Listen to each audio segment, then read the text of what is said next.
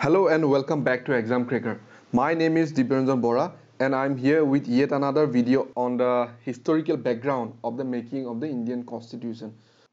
ইয়াৰ আগৰ ভিডিঅ'ত অলৰেডি আমি ডিছকাশ্যন কৰিছোঁ কোনখিনি আমাৰ কোম্পানী ৰুলৰ টাইমত কোনখিনি এক্ট পাছ কৰা হৈছিলে various regulating acts that we pass we have already discuss so' মই ৰেকমেণ্ড কৰিম যদি আপোনালোকে আগৰ ভিডিঅ'খিনি চোৱা নাই তেতিয়াহ'লে আগৰ ভিডিঅ'খিনি চাই ল'ব otherwise you will not understand the background behind the various acts that were passed during the crown rule okay so' please go' back and ৱাটছ that part one of the historical background so' let's begin when you are going to study the crown rule crown rule কেতিয়াবা start হৈছিলে it started from the 1858 to 1947 after the revolt of 1857 the crown rule started এতিয়া কি হৈছে under the crown rule seven different types of acts were passed so let us know the name of the different acts one by one প্ৰথম act যোনটো পাছ হৈছিলে সেইটো আছিলে government of India act that was passed in eighteen fifty eight then the second one was the Indian council act of eighteen sixty one The third one was Indian Council Act of 1892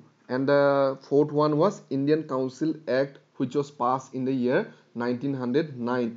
Now the next act was the Government of India Act 1919 and the second last act is Government of India Act which was passed in the year 1935. This act is very important. It thirty five then Indian independence act of nineteen forty seven যোনখন একেবাৰে শেষত pass কৰা হৈছিল this three are very important because they have very extensively they have very extensively influence the making of the Indian constitution আমাৰ ভাৰতীয় সংবিধানখন বনাওঁতে এই তিনিটা act government of India act nineteen nineteen government of India act nineteen thirty five and Indian independence act of nineteen forty seven এই তিনিটা এক্টে বহুখিনি অৰিহণা যোগাইছে। Let study all this acts in detail এতিয়া আমি প্ৰথমতে চাম the government of India act eighteen fifty seven এতিয়া প্ৰথম পইণ্টটো কি আছে ইয়াত? চাওঁ আহক। This act is also' known as the act of good government of India এতিয়া কি হৈছিলে? After the revolt of eighteen fifty seven revolt of eighteen fifty seven আপোনালোকৰ মনত আছে চাগে? মংগল পাণ্ডে। সেই ৰিভল্টত পাৰ্ট লৈছিলে so' they was sepoy mutiny basically revolt of eighteen fifty চেভেনত কি হৈছিলে? চিপাহী বিদ্ৰোহ হৈছিলে। All the Indians they took arms against the British government against the misgovernance of the Britishers they took up arms okay so' ব্ৰিটিছসকলে চিন্তা কৰিলে যে now we should take all the matters of administration legislation and revenue collection into our hands okay ইয়াৰ আগলৈকে কি হৈছিলে? The India India was basically it was govern by the company কোম্পানীয়ে rule কৰি আছিলে। কিন্তু ইয়াৰ পিছত কি হ'ল after the revolt of eighteen fifty seven company ৰুলটো end কৰি দিয়া হ'ল। The rule of the East India Company was totally ended and the governance of India was handed over to the Queen of England এতিয়া Queen of England she will govern the territory of India okay so' first এতিয়া as a first step of taking over the power the government of india act of 1858 was passed and this act is known as the act for good government of india ৰাখিব এইটো mark কৰি দিয়া আছে this are important from year exam point of view আপোনালোকে এক্সামত আহিব পাৰে যে which act is known as the act for good governance বা act for good government of India that is the government of India act eighteen fifty eight okay now moving on to the next point this act was confined mainly to the improvement of administrative machinery by which the indian government was to be supervised and controlled in england okay so why this act is known as the act for good governance কিয় জনা হৈছিলে act for good governance because এইখন এক্টত basically British গভৰ্ণমেণ্টে step লৈছিলে to improve administrative machinery যোনটো আছিলে আমাৰ যোনটো মেচিনেৰী আছিলে under the East India Company সেইটো ইম্প্ৰুভ কৰিবলৈ কিছুমান ষ্টেপ লোৱা হৈছিলে চ' বেচিকেলি সেই ইম্প্ৰুভমেণ্টৰ ষ্টেপ যিখিনি লোৱা হৈছিলে যি ইম্প্ৰুভমেণ্টৰ ষ্টেপ লোৱা হৈছিলে বেচিকেলি সেই তাৰ কাৰণে act came to be known as the act of good governance okay moving on to the next point, the act provided that the India henceforth was to be governed by the and in the name of Her Majesty. It changed the designation of the Governor General of India to that of the Viceroy of India. So this is another important feature of the Government of India Act. From now on, the territory of India will not rule by East India Company. East India Company rule no kore. It will be ruled by the Her Majesty, the Queen of England. Okay. Now another important thing is that it changed the designation of the Governor General of India. Okay.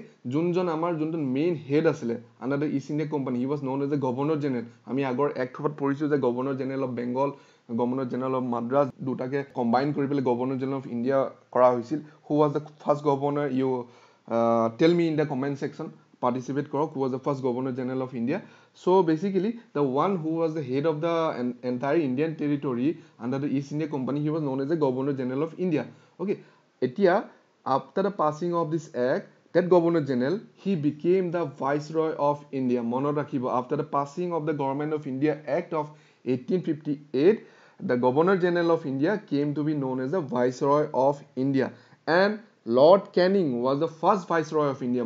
These are important things from your exam point of view.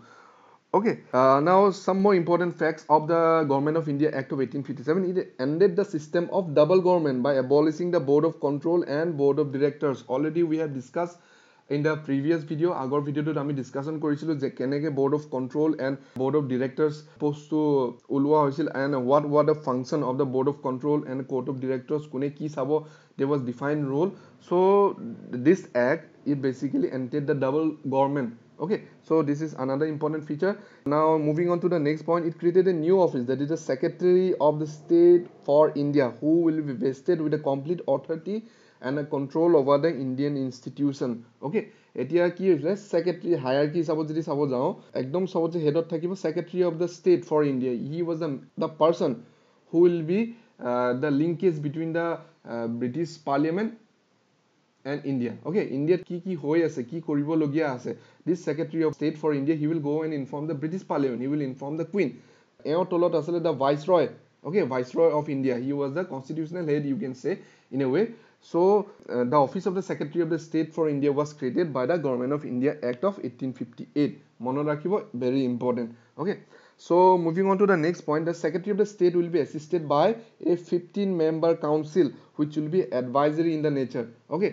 তেওঁ কেতিয়া সহায় কৰিব কোনে fifteen member এটা কাউন্সিলে সহায় কৰিব আৰু এওঁলোকে যোনটো এছিষ্টেঞ্চ দিব তেওঁলোকে যি পৰামৰ্শ দিব that will be in a shape of advisory okay legally binding নহ'ব এনেকুৱা নহয় যে পোন্ধৰজন মেম্বাৰে কিবা এটা কথা কৈছে কিবা এটা কৈছে যে এনেকৈ এনেকৈ কামটো কৰিব লাগে।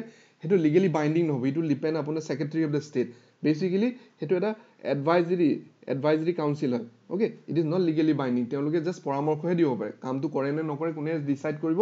It will be decided by the secretary of the state for India okay so' remember the fifteen member council that will be assisting the secretary of the state for India is advisory in nature এডভাইজে দিব। Okay মনত ৰাখিব এইটো। So now let us move to the next act that is the Indian Council Act of 1861. Now after the revolt of 1857 the British government felt the necessity of seeking the cooperation of Indians in the administration of the country. As a result Indian Council Acts were enacted by the British Parliament of 1861, 1892, 1909. এটা কি হৈছিলে after 1857 revolt okay the Britishers তেওঁলোকে উপলব্ধি কৰিলে যে ভাৰতখন ভাৰতীয়সকলৰ চ' in future যদি আমি ভাৰতখনক যদি ৰুল কৰিব বিচাৰিছোঁ definitely we will need the help of the Indians so' তেওঁলোকে কি কৰিলে? এই ইণ্ডিয়ান কাউঞ্চিল এক্ট তিনিখন পাছ কৰিলে basically the Indian council act of eighteen sixty one eighteen ninety two and nineteen hundred nine তাত তেওঁলোকে কি কৰিলে চেষ্টা কৰিলে যে লাহে লাহে ইণ্ডিয়ানছ ভাৰতীয় যিসকল আছিল তেওঁলোককো আহি পেলাই ব্ৰিটিছ এডমিনিষ্ট্ৰেশ্যনে এছ'চিয়েট কৰিব পৰা যায় যাতে তেওঁলোকেও ফিলিং হয় যে this British government is for Indians this British government is for Indians তেওঁলোকৰ এটা এনেকুৱা টাইপৰ এটা ফিলিং হওক সেইকাৰণে তেওঁলোকে বহুখিনি ৰিফৰ্মছ আনিছিলে through this three basically acts eighteen sixty one eighteen ninety two and nineteen hundred nine আৰু ইয়াৰ আৰু এটা কাৰণ আছিল যাতে আৰু in future like the revolt of eighteen fifty seven এনেকুৱা টাইপৰ যিখিনি ৰিভল্ট হয় সেইখিনি যাতে ছাপ্ৰেছ কৰা যাওক। অ'কে এনেকুৱা এটা টাইপৰ যাতে আৰু ৰিভল্ভ নহওক সেইকাৰণেও ব্ৰিটিছসকলে বিচাৰিছিলে যে Indian should be associated with the administration of the Indian হয়নে? So that is why these three acts were basically introduced. Now this act marked the beginning of representative institution by associating the Indians with the lawmaking process. Okay, so more already discussion korilu je after the revolt of 1857 British they tried to introduce Indians with the administrative process. Okay, ভাৰতীয়সকলক তেওঁলোকে British এডমিনিষ্ট্ৰেশ্যনত সহায় কৰিবলৈ তেওঁলোকে start কৰিলে। আৰু তাৰ কাৰণে তেওঁলোকে eighteen sixty one act eighteen ninety two and nineteen hundred nine Indian council act pass কৰিলে। আৰু এই এইটিন ছিক্সটি ওৱানত যোনটো এক্ট আছিলে this was the first step for representative institution by associating Indians with the law making process this was the first step Indian eighteen sixty one it started with 1861 so moving on to the next slide.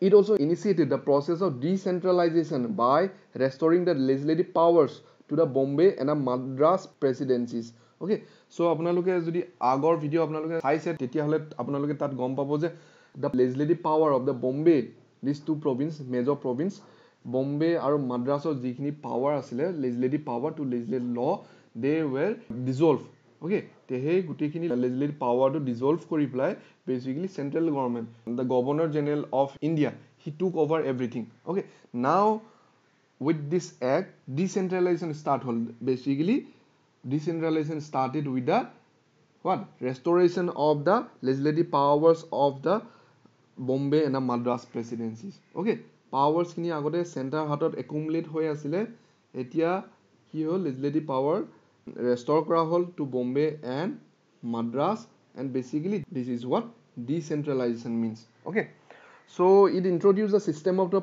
portfolio under the system the member of the viceroy council was made in charge of one or more department okay এতিয়াও আমাৰ দেশত portfolio system আছে কিয়নো basically the what is portfolio system the viceroy he is the as i told you you can say he is the constitutional head of the british territory that is ruled by the queen of england the viceroy he is the constitutional head okay তেওঁ এতিয়া কি কৰিছিলে কিছুমান মানুহক basically you can say in a way they ministers to certain person he made them in charge কাৰোবাক ধৰি লওক agriculture ডিপাৰ্টমেণ্টৰ ইনচাৰ্জ বনাই দিলে কাৰোবাক ৰেভিনিউ কালেকশ্যনৰ ইনচাৰ্জ বনাই দিলে কাৰোবাক ট্ৰান্সপৰ্টেশ্যনৰ ইনচাৰ্জ বনাই দিলে so' this is what portfolio' system is আমাৰ দেশত এতিয়াও দিছ পৰ্টফলিঅ' ছিষ্টেম এক্সিষ্ট হয়নে? We have different ministers we have minister for telecommunication we have minister for defence we have minister for home affairs হয়নে? So' this is what the system of portfolio' means now the next point is it empower the viceroy to issue ordinance during an emergency কি ordinance making power now comment and tell me আপোনালোকে কওক মোক which article of the Indian constitution is related to the ordinance okay ordinance মানে কি হয়? Basically when the parliament is not in session এতিয়া কি কৰিব পাৰে? In this case when the legislative council the central legislative council is not in session এতিয়া viceroy কি কৰিব পাৰে? সেইটো টাইমত তেওঁ কিছুমান টেম্পৰেৰী ল উলিয়াব পাৰে। অ'কে টেম্পৰেৰী কিছুমান আইন উলিয়াব পাৰে। এণ্ড সেই আইনকে কি বুলি কোৱা হয়? অৰ্ডিনেঞ্চ বুলি কোৱা হয়। অ'কে চ' প্ৰথম আমাৰ এই অৰ্ডিনেঞ্চৰ কনচেপ্টটো আমাৰ যোনটো ইণ্ডিয়ান কনষ্টিটিউশ্যন এতিয়া বৰ্তমান আছে অৰ্ডিনেঞ্চৰ কনচেপ্টটো ক'ৰ পৰা আহিছিলে? From the Indian council act of eighteen sixty one okay it was in this act the viceroy was empower to issue ordinance during an emergency এতিয়া এমাৰ্জেঞ্চি কেনেকুৱা হ'ব পাৰে? যুদ্ধ হ'ব পাৰে। There may be flood there may be financial emergency okay এনেকুৱা টাইপৰ কিছুমান এমাৰ্জেঞ্চি চিটুৱেশ্যন মিট কৰিবৰ কাৰণে the viceroy was empowered to introduce certain temporary laws আৰু সেই লখিনি বেচিকেলি ছিক্স মান্থছৰ কাৰণে ইন এক্সাৰচাইজ থাকিব। It will stay in power for basically six months আৰু এতিয়াও আমাৰ ইণ্ডিয়ান কনষ্টিটিউশ্যনত যিখিনি অৰ্ডিনেঞ্চ ইছ্যু কৰা হয় they stay in power for six months so' keep this in mind ordinance making power first প্ৰথম কেতিয়া ওলাইছিলে? It started in the Indian Council Act of 1861 and in the comment section tell me what is the article that is related to the ordinance making power. Okay in Indian Council So moving on to the next slide. We will study the Indian Council Act of 1892 1861 we have discussed. And now we are going to study the Indian Council Act of 1892. This act made a limited and indirect provision for the use of election for filling up some of the non-official seats in provincial council The word election was not used. However, it was described as a nomination made on the recommendation of certain bodies. Ninety two indirectly election শব্দটো mention কৰিছিলে। মনত ৰাখিব there was indirect reference of the word election এতিয়া election শব্দটো তেওঁলোকে কি বুলি describe কৰিছিলে? They gave the name nomination nomination কৰি পেলাই যিবোৰ নন অফিচিয়েল চিটছ আছে in the provincial council okay province মানে হৈছে ষ্টেট আজিৰ দিনত হৈছে state in the British time this way known as a provinces তাত যিটো আপোনাৰ কাউঞ্চিল আছিলে তাৰ কিছুমান নন অফিচিয়েল যিবোৰ চিট আছে চ' তাত কি কৰিব পাৰে নমিনেট কৰিব পাৰে। মেম্বাৰ নমিনেট কৰি পেলাই তেওঁলোকে তালৈ মানুহ পঠিয়াব পাৰে। Okay anybody can send people to that council basically that provincial council so' they was indirect reference of election election বুলি ডাইৰেক্টলি কোৱা নাছিলে। কি বুলি কৈছিলে? ইলেকশ্যন নকৰি পেলাই তেওঁলোকে কি শব্দটো ইউজ কৰিছিলে? নমিনেট কৰিব পাৰে বুলি কৈছিলে। অ'কে চ' মনত ৰাখিব। So' moving on to the next point it also' provided for the provision for the nomination some members to the provincial council so' it is the repetition of the first first point only যে it provided for the nomination of some members to the provincial council provincial council যিটো আছিলে in the lower level তাত কি কৰিব পাৰে? কিছুমান member nominate কৰি পেলাই পঠিয়াব পাৰে। okay so these two are the important feature of the indian council act of 1892 so let us move to the next act that is the indian council act of 1909 now this act is also known as the morley minto reform মনত ৰাখিব the indian council act of 1909 it is known as the morley and the minto reform কিয় জনা যায় as lord morley was the then secretary of state for india and lord minto was the then viceroy of india মনত ৰাখিব। ইয়াৰ পিছতো আমি কিছুমান act পাম মণ্টেগু চেমস্পট reform পাম। প্ৰথম নামটো থাকে সদায় secretary of the state and the the second name is associated with the viceroy first name is associated with the secretary of the state for India and the second name is associated with the viceroy of India okay so' this act this Indian Council Act of 1909 it is known as the Morley and Minto reforms. Okay আৰু Lord Morley কোন আছিলে? He was the secretary of the state for India. And the Lord Minto was the then viceroy of India. It increased the size of the both the legislative council and the provincial legislative council. Okay এতিয়া যোনটো আমাৰ ব্ৰিটিছসকলে কি কৰিছিলে? Parliament you can say in a way parliament parliament form কৰিছিলে আমাৰ যেনেকৈ state legislative assembly থাকে হয়নে? এতিয়া at present we have state legislative assembly and in the centre we have union parliament হয়নে? Rajya Sabha Lok Sabha we have that house both houses ঠিক সেইদৰে তেতিয়াও ব্ৰিটিছৰ দিনতো আছিলে চেণ্ট্ৰেল লেজিলেটিভ কাউঞ্চিল আছিলে প্ৰভিঞ্চিয়েল লেজিলেটিভ কাউঞ্চিল আছে তাৰ যিটো মেম্বাৰ্ছৰ নাম্বাৰ আছিলে it was increase okay so' basically I have tell you eighteen sixty ওৱানৰ যোনটো ইণ্ডিয়ান কাউঞ্চিল এক্ট আছিলে that was first step of associative Indians with the British administration হয়নে চ' বেচিকেলি এই নাম্বাৰ যে ইনক্ৰিজ কৰিছিলে লাহে লাহে British government they were trying to introduce more and more Indians to the British administration okay লাহে লাহে তেওঁলোকে ভাৰতীয়সকলক ব্ৰিটিছ এডমিনিষ্ট্ৰেশ্যনৰ পাৰ্ট হ'বলৈ কাৰণে basically that number was increase okay so' moving on it provided for the first time for the association of Indians with the executive council of the viceroy and governor already I have told you the what was the motive that is to encourage more Indian participation হয়নে so' for the first time যোনটো viceroy ভাগৰ viceroy and governor they had a executive council already we have discuss this in আ previous video চাই ল'ব তাত সেই যোনটো executive council আছিলে for the very first time Indians were made members and Satyendra Prasad Sinha was the first Indian to join the viceroy executive council মনত ৰাখিব নামকেইটা মনত ৰাখিব আপোনালোকে। These are the things which come in your exam এইখিনি নাম আপোনালোকে মনত ৰাখিব। Satyendra Prasad Sinha he was the first Indian to join the viceroy's executive council আৰু তেওঁ এজন ল মেম্বাৰ আছিল। He join as an law member okay মনত ৰাখিব he join as an law member it introduce the system of communal representation okay আপোনালোকে মনত ৰাখিব আপোনালোকে যে হিষ্ট্ৰী যদি পঢ়িছে you have learn about the partition of Bengal হয়নে divide and rule policy divide and rule ব্ৰিটিছসকলে গম পাইছিলে যে if you want to rule the India for ever then we have to divide this two community Muslims and Hindus তেওঁলোকৰ মাজত কি আনিব লাগিব?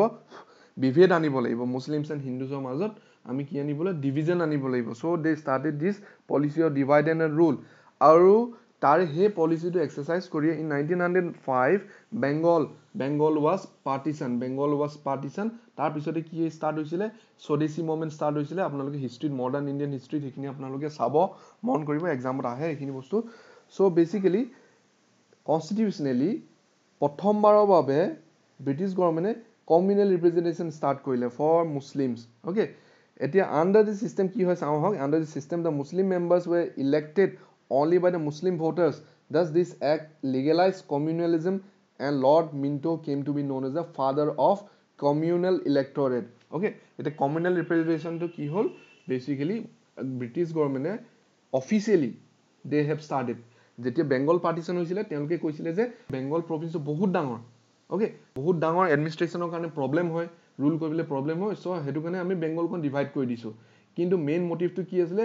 সদায় ইণ্ডিয়ান নেশ্যনেলি লিডাৰ যিসকল আছিলে বাল গংগাধৰ তিলকে হওক যিসকল লিডাৰ্ছ আছিলে আমাৰ সেইটো টাইমৰ nationally leaders they always oppose তেওঁলোকে গম পাইছিলে যে ব্ৰিটিছৰ মেইন মটিভটো কি হয়? Divide and rule they wanted to create rift between this two communities Hindus and Muslims okay কিয় কৰিব বিচাৰিছিলে? কাৰণ তেওঁলোকে গম পাইছিলে যে যদি হিন্দুজ আৰু মুছলিম একলগ হৈ পেলাই যদি থাকে তেতিয়াহ'লে আমাৰ ব্ৰিটিছ গভৰ্ণমেণ্টৰ কাৰণে it will be very it will be a very big problem okay so' প্ৰথমবাৰৰ কাৰণে ব্ৰিটিছ গভৰ্ণমেণ্টে অফিচিয়েলি ক'লে যে অফিচিয়েলি ক'লে যে we are providing a separate electorate for the Muslims মুছলিমসকলৰ এটা ছেপাৰেট কনষ্টিটিউচন কনষ্টিটুৱেঞ্চি দিয়া হ'ব ডিপেণ্ডিং আপন দ্য পপুলেশ্যন আৰু তাৰ পৰা মুছলিম লিডাৰ উঠিব আৰু সেইখিনি তেওঁলোক সেই মুছলিম লিডাৰসকলৰ ভোট কোনে ভোটিং কোনে কৰিব?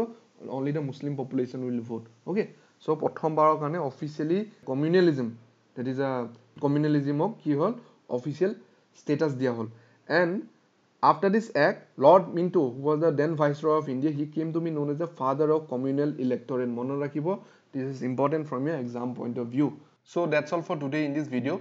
ইয়াৰ উপৰি আমি এক্সাম ক্ৰেকাৰ্ছত আপোনাৰ U G C NET and শ্লেটৰ class online classes আমি প্ৰভাইড কৰি আছোঁ য'ত আপোনালোকে জেনেৰেল পেপাৰ ওৱান এণ্ড ইকনমিক্সৰ অনলাইন কোচিং ল'ব পাৰিব তাৰোপৰি we also' provide online coaching for A P S C C TET TED and sub-inspector. So if you're interested, then you can contact us at 600-575-929 or you can email us at eco100219 at the rate gmail.com. So that's all for today in this video. See you in the next video. Thank you very much.